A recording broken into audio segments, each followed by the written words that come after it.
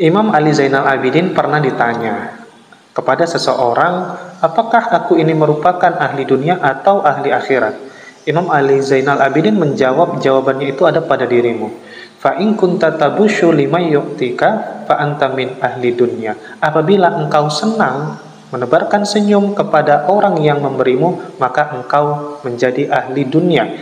Wa in kunta tabushu lima yas'alaka wa minka fa anta min akhirah. Dan apabila engkau senyum, menebarkan senyum kepada orang yang memintamu dan mengambil darimu, maka engkau merupakan ahli akhirat.